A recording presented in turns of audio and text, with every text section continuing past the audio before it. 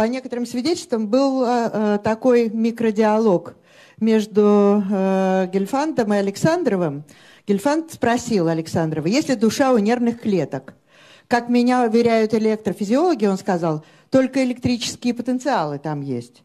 На что Александров ему ответил, а вот вопрос в том, есть ли душа у электрофизиологов. Э, вот э, то, что я сейчас буду перечислять, это, э, разумеется, не то, что я в состоянии буду рассказать внутри одного доклада, это, естественно, невозможно. Но вот как бы вопросы, которые в связи с этой темой мне интересны. Вот что я хотела бы знать сама. А, вот мы знаем, что это сеть нейронная. Я буду говорить, естественно, о сетях, которые вот тут. Сеть нейронная гигантская – а вот зачем она, собственно говоря, такая большая? Она нужна такая большая?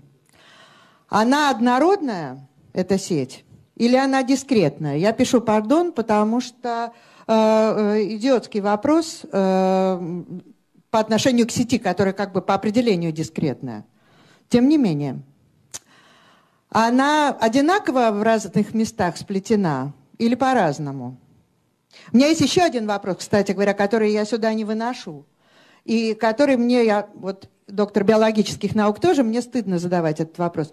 Вот нейроны, э, я понимаю, что они разные в разных местах, это мы все знаем. А вот те, которые как бы в кавычках одинаковые, они одинаковые у разных биологических видов? Вот, может, Оля Сварник мне ответит, я не знаю. Вот просто действительно, мне даже стыдно этот вопрос произносить, но я вдруг поняла, что я этого не знаю.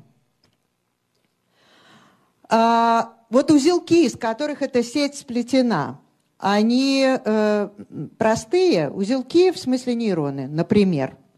Они простые или они, э, вот Анохина нету, э, или они сложные э, и, и когнитивные.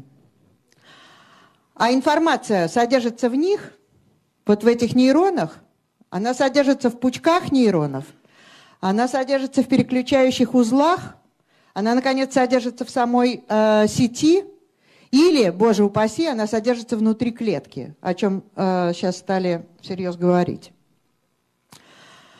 А, а сеть может работать автономно? Ну вот те, кто э, про это читали что-нибудь, наверняка знают знаменитую статью Чалмерса. То есть у него она не одна, но одна из них – это почему э, эти все процессы высшие не идут в темноте. Но имеется в виду, что без внешней среды вот такое происходить не может. И почему, собственно говоря? А, а вот эта сеть, она, сохрани создатель, она свои интенции, может, имеет? Вообще она слишком много всего сама делает. И что, у нее есть э, планы? А, осознание, о котором столько говорят в последнее время, это не э, эпифеномен вообще? Оно, оно вообще есть? Откуда взялась, например, такая вещь, как субъективная реальность? Или то, что вот в англоязычной литературе обозначают как first person experience. То есть вот это вот ощущение, там мне холодно, вот это холодно, это что такое? Или красный, это что? Кроме того, что это слово. Ведь это же не сводится к длине волны, это там бог знает к чему сводится. У нас нет возможности про это говорить. А, и э, вот эта вот субъективная реальность, сознание, она вообще откуда взялась? Может, она, э, не собираюсь на эту тему делать отдельный доклад, но, опять же, в Суе не хочется Пенроуза вспоминать, но, может, она все-таки в эти квантовые щели как просочилась? И если просочилась, то где, собственно говоря, поселилась? Потому что э, ведь физиологи или нейропсихологи, или там как хочешь. Ну, когнитивные ученые, они ведь пытаются найти это сознание в физиологическом субстрате, в мозгу. А, вы должна сказать, на, секунду отвлекшись, что а, после вот этой передачи, которая несколько дней а, шла по телевизору, где вот все мы, ну не всем, но несколько человек из нас э, принимали участие. Я завалена письмами, естественно. Вот. И все эти письма сводятся, я бы сказала, к двум основным вопросам, точнее говоря, не вопросам, а декларациям. Вы говорите, что вы не знаете, что это такое сознание. Сейчас я вам объясню. Вот я прикладываю свои работы. Эти тонны этого ужаса идут. Или э, вы говорите, да, что вы не знаете, как устроена Вселенная. Я никогда такого не говорила, потому что что тут говорить. Э, вот. Так сейчас я объясню. Это давно всем известно. Это, это массовое это дело идет, но э, мы-то профессиональные люди, поэтому мы не в этом смысле смысле спрашиваем, а в настоящем. А именно, у нас вообще есть шансы вот это все выловить э, с помощью экспериментальных методов экспериментальных наук, биологических наук. И э, как со свободой воли все же? Если мы запрограммированы в таких огромных дозах, то э, у нас что? Вообще должна сказать, что эта популяризаторская деятельность приносит и отрицательные плоды. Что я вчера вечером, чтобы посмотреть прогноз погоды на Москву, включила культуру, и там сидел, значит, некий человек, Поляков, который вел программу, и у него сидел тоже какой-то неведомый мне человек, который говорил, так ведь мозг это одно дело, а мы-то это другое дело. И так еще рукой показывал как-то в бок, где вроде бы его мозг отдельно. И мы, говорит, никакой эти ответственности ни за что не несем. То есть знание народу. В общем, пошло. А, вот если мы, э, к чему мы сейчас идем, начнем гены подправлять, в том числе и когнитивные гены – то мы куда ввалимся? Я сказала, что это не значит, что я про это, про все расскажу. Это я просто очерчиваю поле. Вот у меня в названии вынесены слова «ментальный лексикон». Это можно понимать в узком смысле, как я и собиралась первоначально делать доклад. В узком смысле ментальный лексикон – это на тему, как в мозгу устроен язык. Что вообще в мозгу-то там лежит, что там отдельно слова, или там отдельно суффиксы, префиксы, или что, что там вообще? Грамматика отдельно она или не отдельно она? Но это лингвистическая, или точнее говоря, нейролингвистическая проблема, которой занимается огромная армия э, вот такого нейролингвистического народа в мире, в очень крупных лабораториях. Это серьезная история. Но можно его понимать и в широком смысле, а именно э, не по отношению к языку, а как бы вот этот внутренний внутреннее устройство того, что в мозгу, вот этот мозговой язык, скажем, а, вот тот, который обеспечивает когнитивные функции, может быть воспринят как некоторый вот такой ментальный лексикон. И в основном разговоры все идут вокруг, э, э, как это ни парадоксально, до сих пор. Это сети или все-таки там есть модули? Э, ну, сеть гигантская как, э, я думаю, всем известно, это 10-12 степени. И это число все время растет, между прочим, нейронов в человеческом мозгу и квадриллион синаптических соединений. Страшные цифры. Когда речь идет о, моделировании этого всего, то не мне в этой аудитории говорить, скорее вы бы мне сказали, что скорости, которыми пользуются компьютеры, нас обогнали страшно и навсегда – вот. Тем не менее, мозг делает работу гораздо более сложную, чем компьютер, и специалисты говорят, что э, он восполняет вот такие недостатки в скоростях за счет того, что очень много всего идет параллельно, а, и, э, ну и, собственно, и все. И это другой тип компьютера, если он вообще компьютер, о чем много споров продолжается. Э, покажу несколько красивых картинок, просто не могу удержаться, потому что свеженькие. Вот э, это эм, электронно-микроскопический снимок нейрона. Вот так вот он выглядит. Меня умиляет. Э, но я хочу сказать вот что. Как мы знаем, уж, по крайней мере, вы-то знаете точно лучше, чем я, что всего лишь 5% материи во Вселенной такой, как мы привыкли, вот, а 95 это темная материя, что это такое неизвестно. Физики говорят, что состоит она из суперчастиц или из так называемых зеркальных частиц. По крайней мере, мне академик Окунь так объяснил все это дело. А я ему верю. А, а, еще более поразительно, что на этом дело не кончается, потому что и эта теплая, э, э, темная материя, эта светлая материя несет в себе лишь 25% всей энергии Вселенной, а 75% это к тому же еще темная энергия. Вот то, что наверху у меня написано, что мозг, вообще-то говоря, находится в той же Вселенной, он не отдельно. Вот я э, неоднократно получала очень неприятный вопрос. Когда я говорила про все эти квадриллионы э, там, связей, и что это число большее, чем количество там, частиц во Вселенной, люди вздрагивают, те, кто понимают, и говорят, подождите, но сам мозг состоит из этих частиц. И приходилось отбиваться, говорить, что это не частиц больше, чем частиц, а это связи. Но вот все это, вот то, что здесь написано, вот все это, оно имеет отношение и к мозгу тоже, он тут же. Он вот не отдельно от этого человека, который в телевизоре сидел, а рядом. В смысле, тут же находится. Тем не менее, мы не должны окома забывать и влезать э, в объяснения, без которых мы можем обойтись. Вот так выглядят нейроны плюс глия. Глия которая сейчас э, в литературе стала называться темной the, the dark matter of the brain пишут. Темная материя мозга. Фокус в том, что ее еще в 10 раз больше, чем нейронов.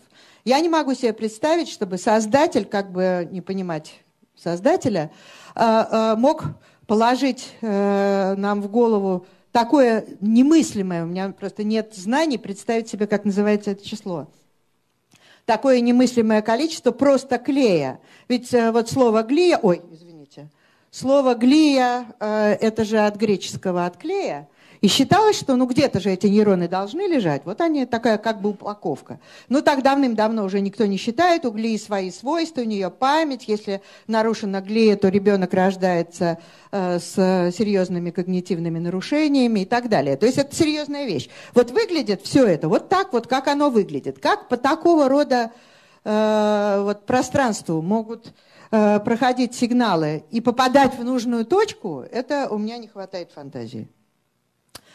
Покажу еще несколько красивых картинок. Это тоже свежие довольно-таки. Это э, человеческий, э, значит, кора. Э, вот, только это уже э, э, эти самые кровеносные сосуды. Вот, господи, да что же я не на то нажимаю? Это вот большие кровеносные сосуды, откуда вот такое вот э, идет, и оно снабжает мозг едой.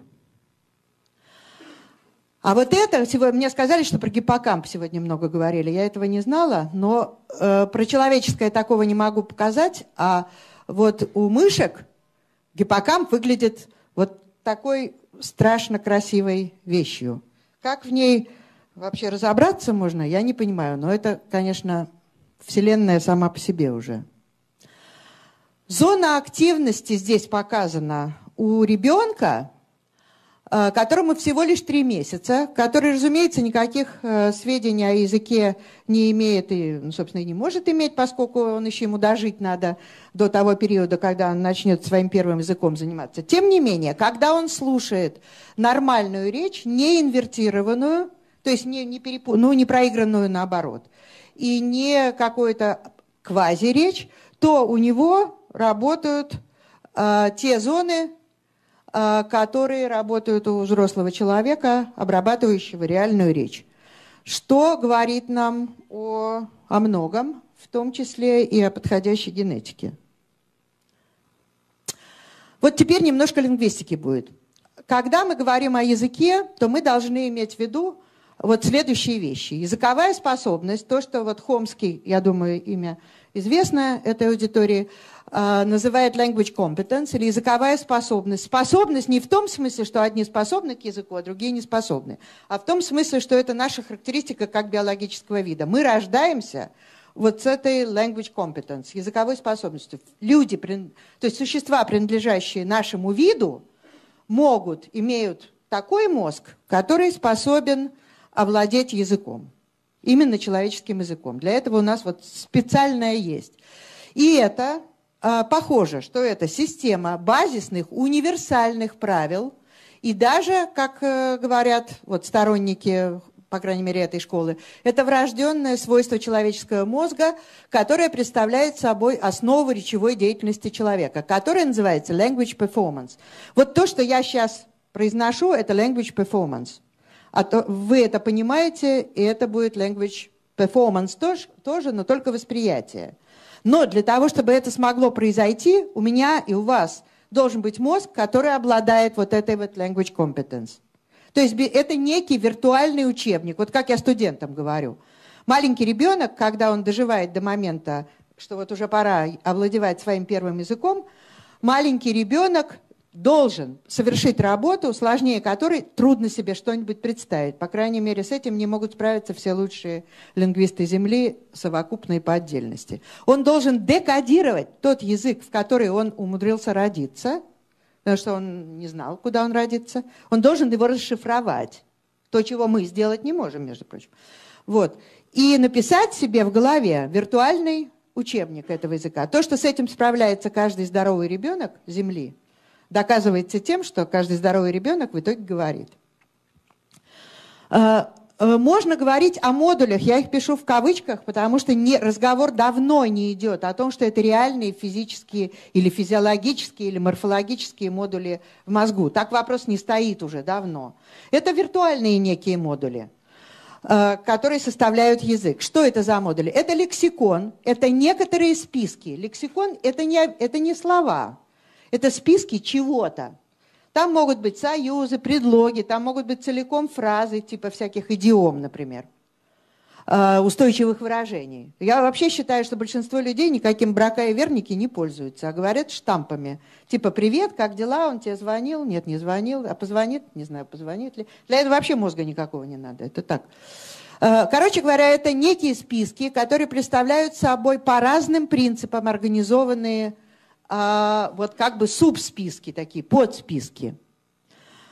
Это некие вычислительные процедуры. При этом слово «вычислительное» – это, я бы сказала, метафорическое слово, потому что мы не знаем, как это происходит, которые обеспечивают грамматику. В грамматику входит морфология, то есть то, как устроено слово, всякие эти суффиксы, префиксы, окончания, вот структура слов. Синтаксис, то есть то, как соединены эти слова друг с другом. Семантика, понятно, что такое, и фонология. Самым сложным, я бы сказала, во всей этой истории является фонология. То есть вот эти вот микро, микроштучки, из которых наш язык и составлен. Вот на него, судя по всему тому, что я про это знаю, а я, кстати, изначально фонетист, так что я вроде бы это изучала. Э, вот. Э, так вот, вот эти вот микроштучки-то как раз и заняли основную э, силу у эволюции. Вот на это дело уходило, чтобы не просто звукоизвлечение какое-то было, а чтобы были вот эти микрокусочки, которые с, опять же, микроизменениями в длиннотах, частотах, там, высотах – во всем этом, а, э, меняли значение слов. Для этого и анатомия понадобилась совсем другая и так далее. Но нет времени про это говорить. Да, кстати говоря, вот еще важная вещь есть, а именно механизмы членения речевого континуума, который поступает извне, извне. Об этом вообще довольно мало говорят вне профессиональной среды. Вот когда мы читаем текст написанный, там пробелы есть. Мы знаем, где что кончается. А вот когда я сейчас говорю, если мы запишем и посмотрим на осциллограмму или спектрограмму, это будет сплошное. Вот теперь расскажите, как членят. Вот как это членить-то? Это нетривиальный вопрос, совсем нетривиальный. И, наконец, прагматическая система, то есть соотнесение с реальностью и с целями поведения. Эти модули, вот здесь я почему-то не написала, здесь кавычки должны быть. Это модули, я повторяю, в виртуальном смысле. Не стоит думать, что там это в мозгу, они там лежат. Только что, дня два тому назад, я получила статью, которую профессор Панов написал. Я не предлагаю все прочитывать, что здесь написано, но он занимался птицами. И ведь э, основные всегда разговоры, что человеческий язык устроен принципиально не так. Я сама про это довольно много писала и сто раз говорила. Вот вынуждена отодвинуться. Э, что человеческий язык устроен по-другому, не так, как языки животных. Так вот, э, посмотрите, что они выделяют-то. Они выделяют слоги, фразы, э, типы песни. А я оппонировала диссертацию о попугайном э, этом вокализме всяком, так там диалекты были, там был даже некоторый литературный язык, я бы сказала, которым попугаи разных видов друг с другом умудрялись общаться. Э, э, в принципе, если хотеть, то можно выделить э, небольшой набор нот, из которых составляются эти самые песни э, певчих птиц. Тогда это тянет на фонему. То есть я к тому говорю, что вот эта вот красота, которая еще совсем немного лет э, тому назад была, когда вот все это отделялось одно от другого, вот она ускользает к несчастью. Э, при, э, когда мы обсуждаем структуру ментального лексикона, то, то есть открытые вопросы. Как представлены слова в этом ментальном лексиконе? Как они представлены? Это что, все на букву А там вместе лежит? Или существительные вместе лежат? Или конкретное отдельно, абстрактное отдельно? Как они вообще лежат? Это совсем непростой вопрос. И этим занимаются, это не вопрос философских разговоров – это вопрос конкретных экспериментальных исследований с помощью методик там, прайминга, э, лексического решения, э, движений глаз, регистрации и так далее. То есть много есть способов, с помощью которых можно получить конкретные ответы. Это я именно э, с таким пафосом про это говорю, чтобы было понятно, что это не вопрос того, что люди сели в гостиной, и вот они беседуют, так или не так. Это вопрос проверок экспериментальных как они извлекаются, например, из ментального лексикона эти лексические единицы. Ну вот я потом немножко объясню. Как хранятся морфологически сложные слова, вместе с их основами или отдельно. Есть ли различия между ментальным словарем слушающего и ментальным словарем говорящего? Есть э, целый ряд серьезных ученых, которые говорят именно так, что это два разных, два разных лексикона, так сказать, в голове. Для слушания и для говорения. А, для носителя языка одно, для неносителя языка, но хорошо знающего другой язык другое, средне знающего третье, только пишущего четвертое, хорошо говорящего, пятое и так далее. Я просто описываю мазками такими вот пространства, в котором эти исследования идут. Дальше. Вот эти модели ментального лексикона, которые есть и которые очень хорошо, в частности, школой Хомского разрабатываются. Даже не столько самого Хомского, сколько Пинкера и вот уже ну, вариантов, так сказать. Они применимы ли а, к э, типологически разным языкам? Хочу аудитории напомнить, что э, на планете сейчас примерно 6 тысяч языков. Это примерно, это очень примерно, потому что что считать языком, что диалектом, отдельный вопрос. Но порядок такой. И эти языки драматически отличаются друг от друга. Так вот, эти правила, а нас-то ведь интересует, как в мозгу, да, правильно? А мозги вроде бы одинаковые у нас у всех. Так вот, как эти универсальные, базисные характеристики, как они выявляются в языках столь отличных друг от друга? Скажем, как английский, ну и, например, финский – или, пожалуйста, пусть будет русский и финский. То, что мы синтаксисом э, устраиваем, то финны вкладывают в одно слово. То есть то, что мы переведем довольно длинным предложением, у них в одно слово уляжет. То есть принципы организации другие. Э, вот, э, опять же, не предлагаю это читать, а перескажу. Вот две конкурирующие есть по-прежнему – есть две конкурирующие армии, так сказать, в этой области. Это сторонники двусистемного и односистемного подхода к организации ментального лексикона. А, двусистемные – это Хомский, Пинкер и компания, и они говорят, в, языку, в языке есть регулярные процедуры, ну, скажем, возьмем глагольную морфологию. Есть такие вещи, как, э, я не знаю, I work, I worked, да, значит, прошедшее время, если ты хочешь то добавь к основе иди и получишь прошедшее время. И это они называют дефолт. То есть, э, значит, в, в мозгу есть определенные правила, которые частично врожденные, частично вот этим маленьким ребенком, так сказать, его мозгом написанные, из которых следует, что если ты не знаешь, если ты встречаешься с новым словом, ты его никогда не видел, а тебе нужно образовать от него определенную форму, то вот бери это дефолтное правило и образуй. И это алгоритмы. И это подчиняется тому, что они называют символические правила. И вокруг этого в том числе и математики много. А, э, но есть некоторый класс, э, с которым ничего сделать нельзя, кроме как запомнить. И это, э, ну, то, что мы знаем, неправильные глаголы. Там тот, бот, кот там, и так далее. Но это в языках простых, типа английскому, английского. А в языках типа русского, уж я не говорю про финский, и в помине ничего подобного нету. Как с этим быть? И это основывается на разных типах памяти, и, в общем, нет времени про это говорить. А, главные у меня, да, я прошу прощения, у меня некоторое количество слайдов по-английски, просто совсем не было времени уж их перевести. Значит, вот главные э, дебаты, которые в лингвистике вокруг этого идут, идут между нативистами и коннекционистами. то есть сетевиками. Нативисты – это Хомский, это так называемый новый синтез, отпочковавшийся от этого, это Пинкер. И это то, что разрабатывает Джерри Фоттер, который вообще говорит о модулярности вот в таком смысле. А коннекционисты – это другие люди. Это, я именно лингвистов беру, только здесь только лингвисты. Это Байби, которая сетями занимается.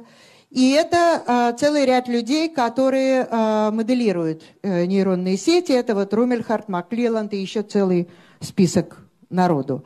И вот эмерджинисты, так называемые, э, Элман и прочие. Это я просто для сведения, потому что про это нужно спецкурс полугодовой читать.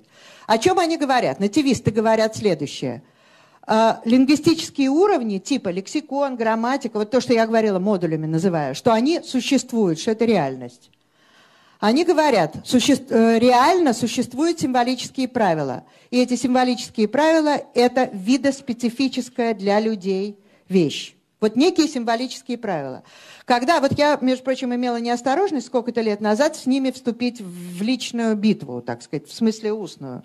И говорю, что вы привязались к этим символическим правилам? Когда человек делает какие-то другие вещи, там, скажем, по аналогии выполняет какие-то процедуры, это тоже правило. Что вы говорите, здесь есть правила, а там нет правил? Я говорю, там тоже есть правила, только они более сложно устроены, поэтому чего вы так гордитесь? А они как-то так палец воздевая к небесам, они говорят, да кто же символические правила? И, значит, все падают в обморок. Вот э, вокруг этого идет э, страшный бой.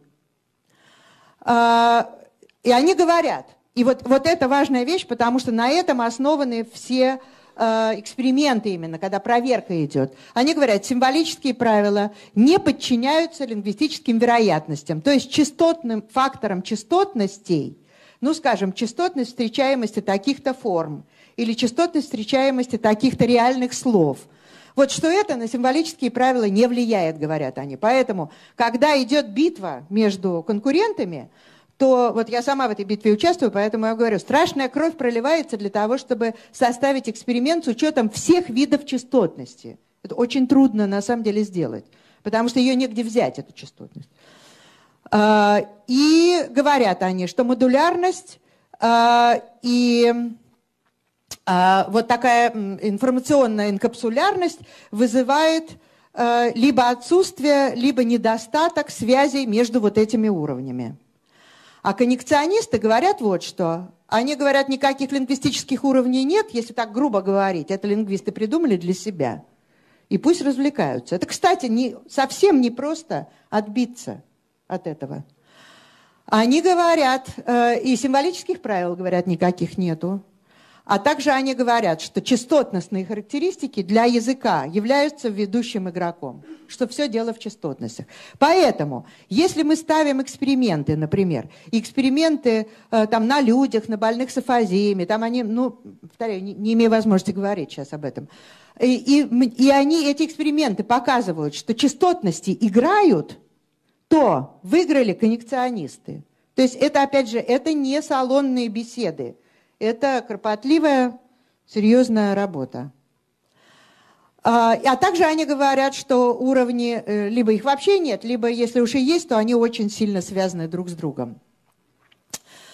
Однако символические правила, это мы точно знаем, используются в разных сложных операциях. Не только в лингвистических, но и в лингвистических. С другой стороны, ассоциативные процессы тоже вполне можно моделировать. Так что чего они, собственно, так ругаются? А, э, непонятно. Вот я, кстати, не знаю. Это я э, списала, как люди пишут, но сама я в этом не уверена. Они говорят, похоже, что сеть, именно сеть как сеть, не обладает э, памятью. Вот я не уверена, это так или не так. Не знаю. А, а тогда где хранится эта информация? Это они друг с другом так ругаются, я вам просто описываю. И э, ассоциативные сети не нуждаются в символических правилах. А тогда как эти символические правила фигурируют? То есть как они, как они живут? И э, ну, перелистываю, потому что все это пытаются проверить и с помощью э, нейропсихологических или даже лучше сказать нейрофизиологических методик, то есть с помощью ПЭТа, э, функционального магнитного резонанса, то есть все пущено в ход, но должна сказать, что от этого особенно легче не становится. Вот возьмем, к примеру, концепцию, или даже слово, не будем даже говорить в суе э, концепцию, а слово «собака». Вот где оно будет представлено в мозгу? Вот здесь, видите, написано, оно и как тактильное, я помню, шерсть у нее такая, да, и оно как концепт собаки, что есть такие животные, что это артикуляторный образ, произносится вот так вот, это фонологический образ, то есть не такая фонема, а такая фонема. Это э, э, слуховая кора, разумеется, здесь участвует, и визуальная участвует. Это э, к вопросу о том, где что расположено. Разве мы вообще можем говорить, где эти собаки расположены? Где она расположена? Вот если бы я сейчас, к примеру, стала, завела очень интересную, но нет возможности про это говорить, э, бодягу про дислексии, дисграфии и вообще про чтение – то в процессах чтения участвует минимум штук 17-18 участков мозга. Поэтому, когда мы говорим, что вот э, поломан такой-то кусочек, и вот у него дислексия, да не смешите вы меня. То есть, конечно, это может быть поломан такой кусочек, который рубит и все остальные кусочки, это другой вопрос. Но вопрос о том, что есть место, где чтение или пение, или там пользование щипчиками для крабов, таких мест нет. История закончилась, к сожалению, это. Если мы будем говорить, э, к примеру, о расположении, э, я не знаю, глаголов, то вот здесь, вот видите, вот глагол walk и hold, к примеру, они э, не будем обсуждать, каким образом выяснилось, но они находятся примерно в тех же местах, где действия, с которыми связаны эти глаголы. Поэтому, как мы к вопросу о локализации языка, вот, вот я студентам говорю, что моя основная претензия к мозгу, и не устаю, мне даже, даже надоело уже это говорить, э, заключается в том, что там все живут везде, что мозг набит битком бомжами какими-то, которые везде, они с места на место переходят. Он и там, где собаки, он и там, где буква «С», на которой начинается собака, он и там, где, э, а вот вчера собака какая-то странная мне встретилась, и так далее. Это большой список. Он везде. Уж если говорить о концептах каких-то и о том, где хранится информация, то это то, о чем вот нейролингвисты серьезные западные говорят. Вот эти вот узлы, как бы станции переключения информации вот отсюда сюда, вот по сети двигается информация. И вот есть некие такие переключательные станции. Это не концепт собаки, а это верхушка информации. А, и то, с чем много людей не согласится. Вот, скажем, вся компания Хомского, Пинкера и так далее ни за что не согласится с этим. Что одни и те же структуры обслуживают и язык, и восприятие необязательно языковых вещей. Вот это, кстати, вот поле битвы, оно находится здесь. У нас отдельные штуки для языка есть или вообще для всякого сложного? Вопрос бесконечный. А, а как достигается вот эта сложность э, и одновременно простота? Сложность это что? Это что вообще мозг умудряется сделать? А простота в чем заключается? В том, что каждый из этих узлов является довольно простым таким процессором, который интегрирует, передает, меняет силы, пороги, дозы вот этих вот переключений, вроде ничего такого особенного нет. А проблема, проблема вот в чем. Как вот такие простые действия, относительно, конечно, простые действия, производят такую страшную сложность, с которой мы тем реально имеем дело? Ответ такой, очень большое количество. Ответ, один из ответов. Это как бы то, с чем вроде бы сейчас, вроде бы согласны. Уж очень большое количество вот этого всего. Очень много параллельных распределенных процессов. И, конечно, иерархическая организация. А, итак, параллельная, серийная, иерархическая, в обе стороны идет туда и сюда. А, этих самых переменных очень много. Вот такие.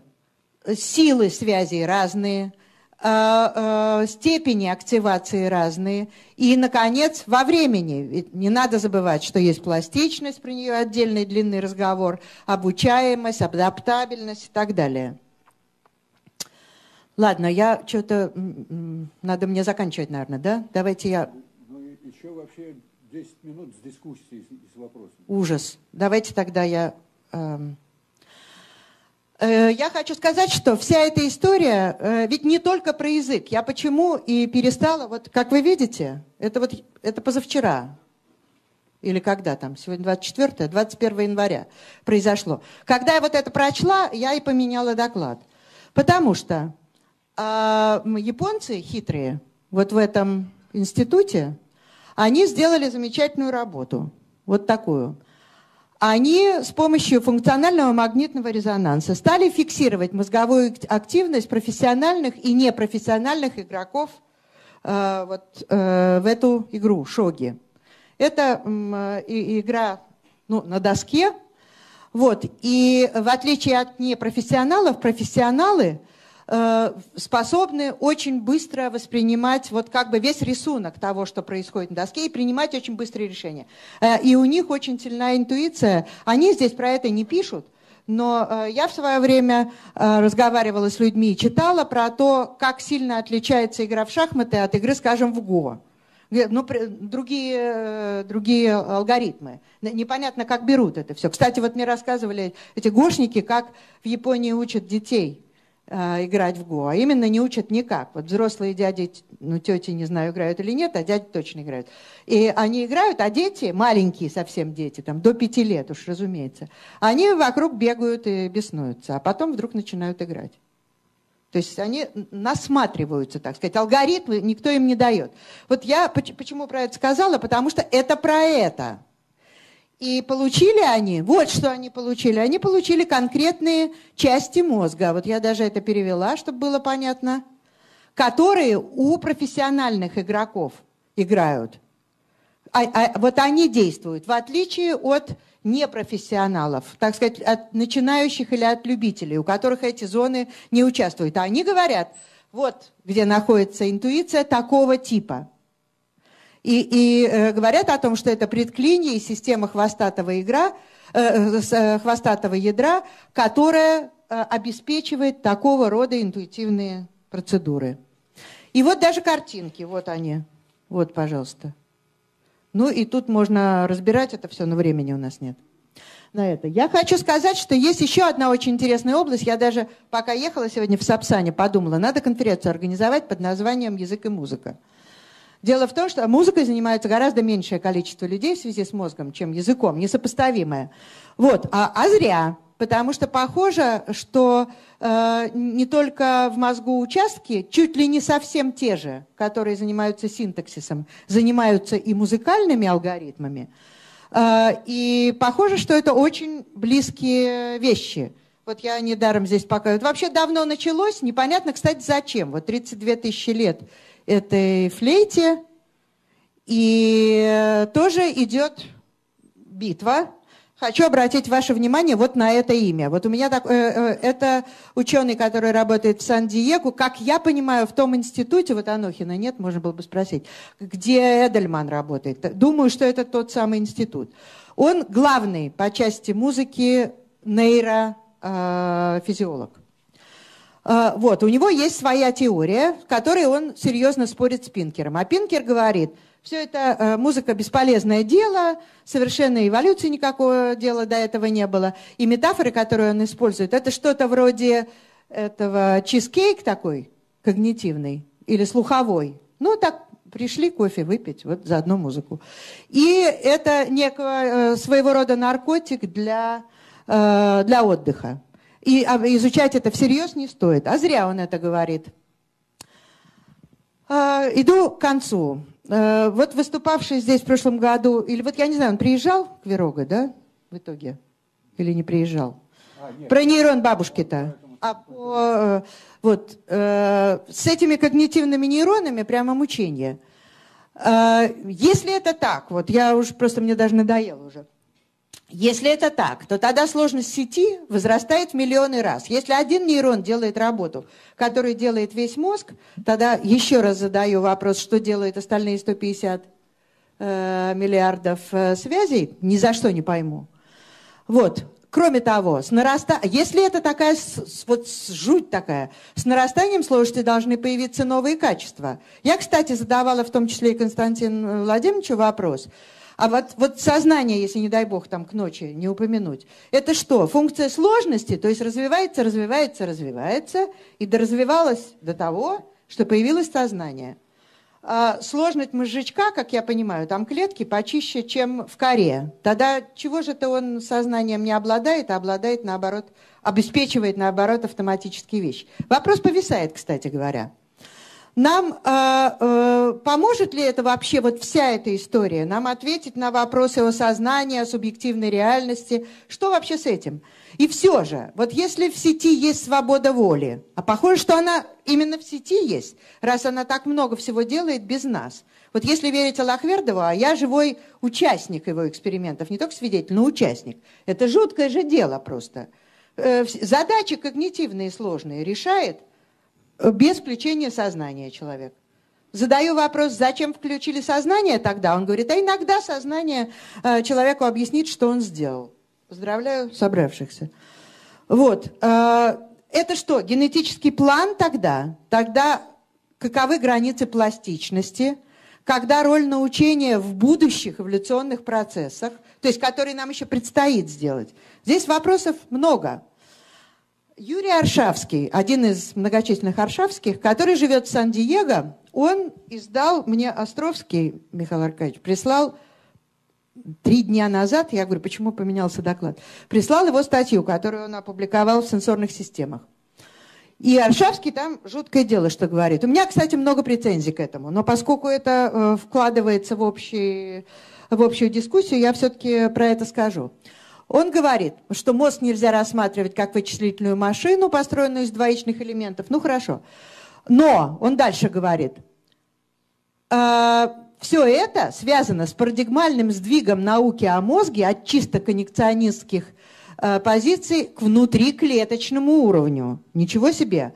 То есть он говорит, что высшие функции мозга осуществляются сложными сетями, состоящими из сложных нейронов, являющихся элементарными носителями когнитивных функций. А что вообще-то надо вот сюда ехать.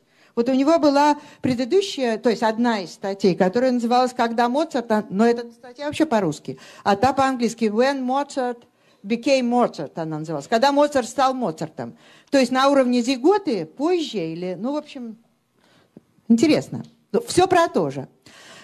Сразу приходит в голову, конечно, Эдельман с его э, изумительной теорией, которая мне очень нравится.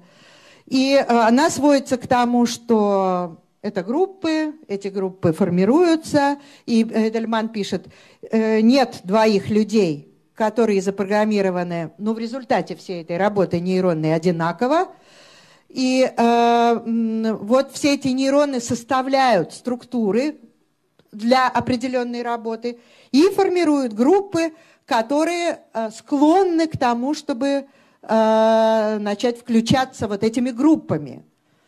И для Эдельмана именно эти группы являются главными игроками в мозгу. А, и вот еще тоже, мне кажется, очень важно. Он говорит о том, что разные уровни, вот если вы, э, начать говорить опять о сознании, то он говорит, разные уровни сознания есть. Первого порядка, концепты о концептах, э, ну и так далее. И тогда получается, что мозг – это другого типа компьютер, но тот, у которого есть уже не hardware, а software, которая уже прямо там находится. И делает, и он, этот компьютер, имеет дело с данными, которые поступают по вот неким проводам. Провода эти от ушей, от глаз там и так далее. Но надо иметь в виду, что э, есть еще, дело обстоит еще хуже, потому что мы э, не поодиночке живем, мы живем в социуме, и э, добропорядочные люди, как я здесь пишу, используют не те зоны мозга, которые используют злобные эгоисты, пользующиеся этим. Люди, которые социально адаптированы и правильно себя ведут, э, используют вот эти вот зоны. То есть, я это к чему клоню? К тому, что э, пора прекратить отдельных индивидуумов изучать, а изучать их надо, как они вместе сосуществуют. И в связи с этим есть такая вещь, как распределенная когнитивная деятельность. Распределенная не внутри мозга, а между индивидуумами или даже группами. Вот я здесь эту картинку показываю. Where is my mind? Называется одна из статей Джерри Фодера.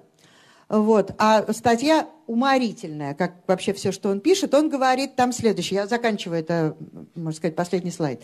Он говорит, наблюдаю я за своим пылесосом с искусственным интеллектом, но он себя ведет прямо как живой. Мои внуки его кормят печеньем, ну, естественно. Он подходит, значит, печенье ест и вообще ведет себя, ну, просто живой и все. И я вот думаю, если у него в мозгу репрезентации, Фодор пишет, нет там репрезентации. Я знаю точно, пишет Фодор. Я его открыл, посмотрел, что мне понравилось. Открыл, посмотрел. Там была только кошачья шерсть и мусор. Нет там никаких репрезентаций. Фодор дает жару. Вот, встает, да, встает вопрос, значит, а вот у этих есть? И а что дальше? А дальше вот что. Всякие айфоны, а также вот такие штуки – они ведь взяли на себя часть наших когнитивных функций, между прочим. Тогда, это, они так пишут, я, я не говорю, что я, это, это не я говорю. Они говорят, значит, получается что? Где кончается? Где кончается мое сознание? Где оно кончается? Если я работаю среди многих разных механизмов. И эти механизмы, часть той работы, которую раньше я выполнял сам, выполняют за меня. Значит, мы делим это дело. Ну и спасибо за внимание и вот эти сети. Спасибо.